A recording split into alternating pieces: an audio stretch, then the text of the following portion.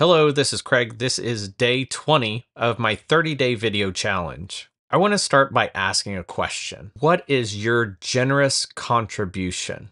As you know, based on yesterday's video, I'm reading a book called The Practice Shipping Creative Work by Seth Godin. In his book, Seth says something fantastic. He says, Your contribution, the one you want to make, the one you were born to make, that is what we're waiting for. That is what we need. So I ask you, what is your generous contribution? What are you wanting to make? What were you born to make? When we avoid putting ourselves out there, when we avoid putting our writing, our artwork, our music, our videos, whatever it is we create, when we avoid putting that out there into the world, we are robbing people of the blessing of whatever it is that we do.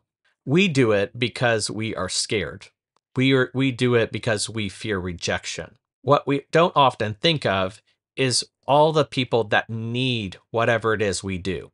So today I started my day much like any other day, and I came across a video. I was watching a video by the title Good Story Wins, period always, period, and is by a photographer, a YouTuber, a filmmaker by the name of Peter McKinnon. And if you haven't watched Peter McKinnon's stuff, you are missing out. His channel often inspires me. He's funny. He has a way of being humble, yet he's incredibly brilliant. In this particular video that was titled Good Story Wins, period, always, period, Peter starts by announcing the winners to a contest that he had held back in 2020. And so in this contest, he had asked filmmakers to submit a short film.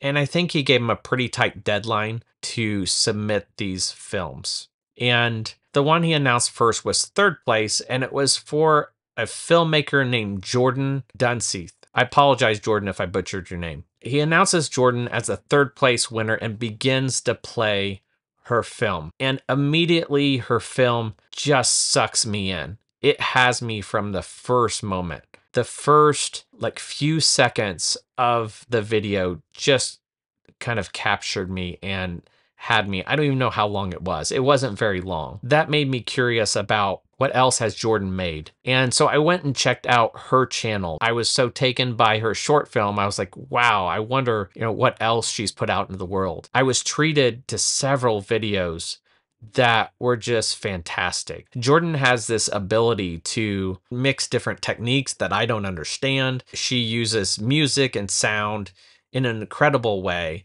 And she uses all kinds of shots that just took my breath away. And on top of that, she has a way to talk about life or whatever is going on and interweave her faith into it in quite a natural way. It's not something creepy. You don't feel like you're being preached at.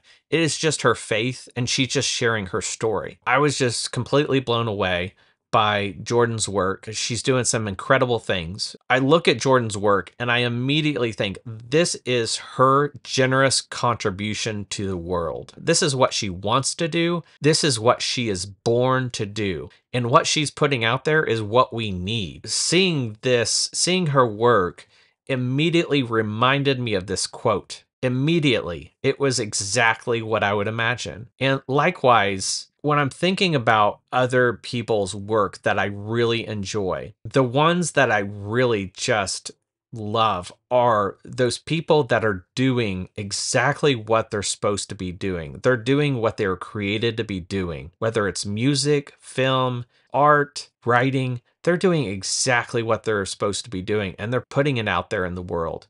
And that is incredibly generous. That is their generous contribution. And when they do it, is one thing because it's just a huge blessing, but it, it's also, you know, allows them to thrive. They can make money and make a good living doing something that they love. And their generous contribution is sharing with the world whatever their gift is. That's pretty much it for today. But I want to ask you the question What is your generous contribution? What is it that you want to make? What is it that you were born to make? Because that is what we're waiting for.